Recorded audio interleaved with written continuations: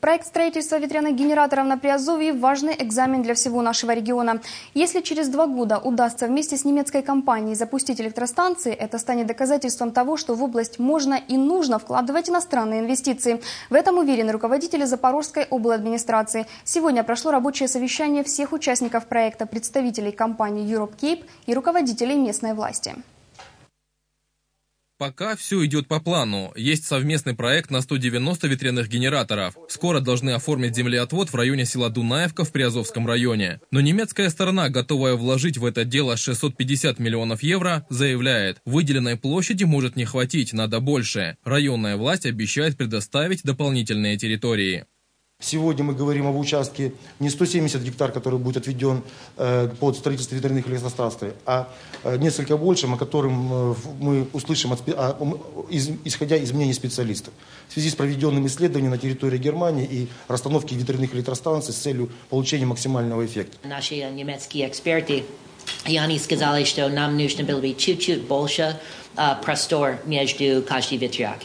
Чуть-чуть по-немецки около 100 гектар. По словам руководителя компании Europe Cape, вместо 170, скорее всего, понадобится 250 гектар земли. Начало реализации проекта зарубежная компания считает успешным. Все возникающие проблемы решаются в рабочем порядке. С бюрократией и коррупцией, то, чего так боятся многие зарубежные инвесторы, по словам представителя немецкой компании, сталкиваться ему пока не приходилось.